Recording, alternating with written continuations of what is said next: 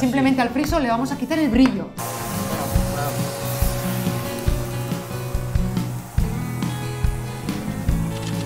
Bueno, esto es una preparación, es una selladora para que después cuando pintemos la pintura agarre bien.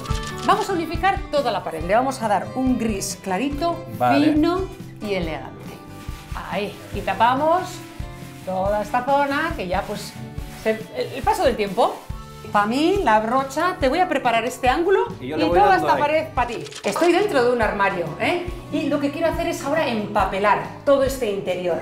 Entonces, como necesito una recta, una vertical perfecta, lo que he hecho ha sido colocar una cuerda con un peso. ¿eh? Y así de esta manera puedo conseguir eh, esta raya de aquí. Vamos a ir aplicando la cola en la pared. Bueno, también hemos cortado la tira de papel. Importante, siempre tenéis que cortar de sobra porque luego ya lo ajustaremos. Hay que dejar sobrante arriba y abajo. Bien de cola en toda la superficie. Primero tengo Sí, que presentar sí. yo en la parte Tú ponlo bien. de arriba Ahí, y vamos con la línea. Ahí sacamos las posibles burbujitas, ¿eh? Y presionamos. Con un trapo también se podría hacer, pero con ese cepillito, pues mejor. Nos fijamos en la base de las cajas. Ahí está bien. Ahí está bien, acercándonos sin superponer el papel, ¿eh? El papel lo recortaremos sobrantes cuando se haya secado, ¿vale? Perfecto. Y ahora seguimos, vamos a crear unas baldas a diferentes alturas, las iremos colocando. Las baldas las creamos nosotros mismos, ¿eh? Agarra por ahí, eso, vale, o venga por aquí. Vamos a medir. A ver, 1,97. Aquí. Y, a ver, aquí. Agarra la sierra de calar, Antonio.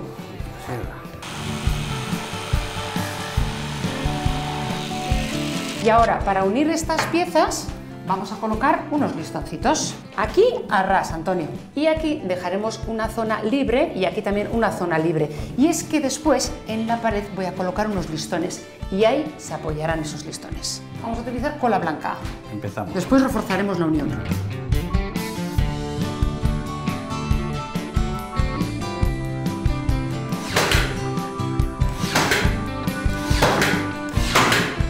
Yo utilizo una clavadora de puntas, pero podríamos utilizar también pues, un- unos tirafondos o unos clavos.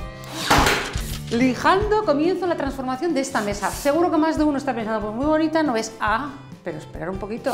Imprimación o selladora. Imprescindible si queremos que luego el esmalte se fije bien. Que cuando se ha secado la imprimación, pues ahora ya vamos con este verde aceituna precioso y vamos a ir aplicando poco a poco. Vamos a dar dos manos, ¿eh? Dos son totalmente necesarias. Fijaos en las baldas, ¿eh? Para que tengan ese aspecto de robusto, de fuertes, lo que he hecho ha sido colocar un listón frontal, ¿eh? Y le da esa apariencia. Con dos tabletas cortadas a medida conseguimos una encimera o sobre de mesa perfecto. Ahí. Cuando los hijos se marchan de casa, sus habitaciones quedan vacías. Nuestro invitado Antonio ha querido darle nueva vida a este espacio.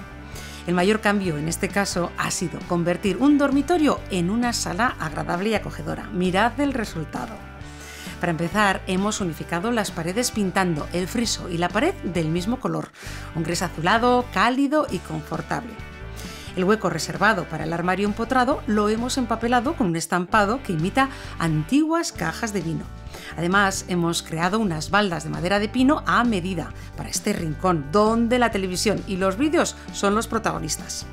Enfrente, un sofá a juego con la pared que invita a disfrutar de la tranquilidad de la estancia. El toque de color lo tenemos en el centro del salón. Hemos pintado la mesa en verde oliva y hemos dado contraste colocando esta alfombra roja de pelo largo. Esta lámpara de pie ofrece una luz dirigida para la lectura y una agradable iluminación para zonas pequeñas. A su lado, una balda para colocar libros y enfrente un conjunto de fotografías familiares. ¡Mm, ¡Cuántos recuerdos vividos!